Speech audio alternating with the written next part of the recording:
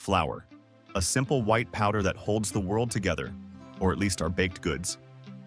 It's the backbone of bread, the base of cakes, and the secret to perfect pasta.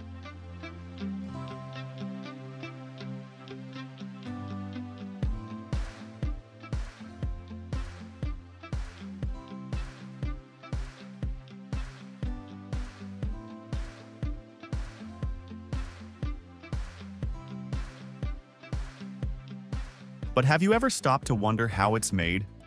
How do golden fields of wheat transform into the fine, silky substance that sits on your kitchen shelf? This journey is one of scale, precision, and some truly fascinating machinery. So, buckle up as we uncover the incredible process of how flour is made in factories, from farm to table. Let's start at the very beginning, the wheat fields.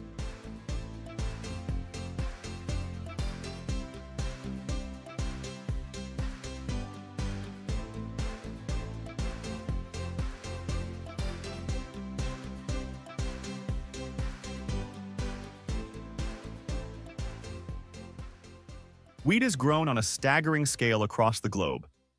In fact, over 783 million metric tons of wheat were produced worldwide in the year 2023, making it one of the most important crops on Earth. The top producers are China, India, Russia, and the United States, with these countries accounting for nearly half of the global supply. The United States alone produces over 48 million tons annually, much of which ends up as flour. Wheat farming is a delicate science. Farmers carefully select from dozens of wheat varieties based on their end use. Hard wheat, like hard red winter or durum, is high in protein, making it ideal for bread and pasta. Softer varieties, such as soft red winter wheat, have lower protein levels and are perfect for cakes and biscuits. Planting is done with precision machinery, often equipped with GPS technology ensuring the seeds are spaced evenly for optimal growth. The crops need just the right conditions to thrive cool winters, warm summers, and regular rainfall. However, nature can be unpredictable, so farmers rely on pesticides and fungicides to ward off pests and diseases. Advanced irrigation systems are used in regions where rainfall is scarce, ensuring the plants receive adequate water. By the time the wheat is ready for harvest, the fields are a sea of golden spikes swaying in the wind, a sight both beautiful and productive.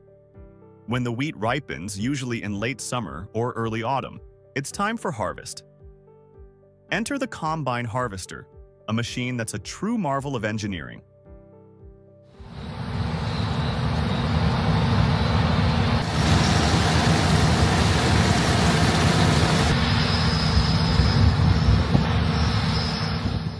These massive machines perform three tasks in one pass.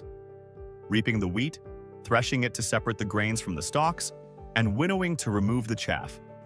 It's an efficient process that ensures every grain is collected. Once harvested, the wheat is loaded into trucks and transported to storage silos. Here's where things get serious. Wheat can't just be thrown into a silo and left to its own devices. The quality of the grain depends on proper storage conditions. Silos are temperature and humidity controlled, maintaining an ideal environment of 10 to 15 degrees Celsius and no more than 65% humidity. Excess moisture can lead to mold, while pests are kept at bay with regular fumigation. Properly stored wheat can remain in good condition for months, ready to be milled into flour. But what's the value of all this hard work? On the global market, wheat is worth between $200 and $250 per ton, depending on quality and demand. For many farmers, their livelihood depends on achieving high yields and premium prices. Once the wheat is transported to a flour mill, it undergoes a series of meticulous processes to transform it into flour. The first step is cleaning. The wheat is passed through sieves, magnets, and air currents to remove stones, dust, and other impurities. This step is crucial because even the tiniest contaminant can affect the quality of the final product. Next comes conditioning. This involves adding just the right amount of water to the wheat and allowing it to rest for up to 24 hours. The goal is to toughen the outer bran while softening the inner endosperm, making it easier to separate during grinding. And now, for the star of the show, the roller mills. These powerful machines are the heart of any flour factory. Roller mills consist of pairs of steel rollers rotating at different speeds. As the wheat passes through, the rollers crush and separate it. The process begins with breaking the grain open to separate the bran and germ from the endosperm. Each subsequent stage involves refining the endosperm into finer and finer particles until it becomes flour. Modern roller mills are incredibly efficient. A single mill can process up to 150 tons of wheat per day, producing different types of flour for various uses. All-purpose flour, for instance, is made by blending hard and soft wheat, while bread flour comes from hard wheat alone. Cake flour, with its fine texture, is made from soft wheat, while whole wheat flour includes all parts of the grain, the bran, germ, and endosperm. Flour factories don't just stop at producing basic flour. Specialized flours, such as semolina for pasta or self-raising flour for baking, involve additional processing or added ingredients. Each type of flour is carefully tested for quality, ensuring it meets strict standards for protein content, moisture level, and consistency. Once the flour is ready, it's packaged into bags ranging from small 1 kilogram packs for home bakers to massive 25 kilogram sacks for commercial use. Some factories can produce thousands of bags per hour, which are then distributed to supermarkets and bakeries worldwide.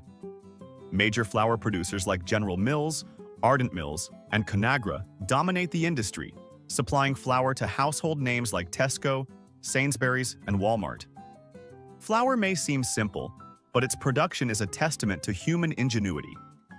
From the precision farming of wheat to the advanced engineering of roller mills, every step is designed to maximize efficiency and quality. The next time you enjoy a slice of bread or a bowl of pasta, take a moment to appreciate the incredible journey that brought it to your plate. Flour truly is the unsung hero of the kitchen, and its story is as rich and layered as the dishes it helps create.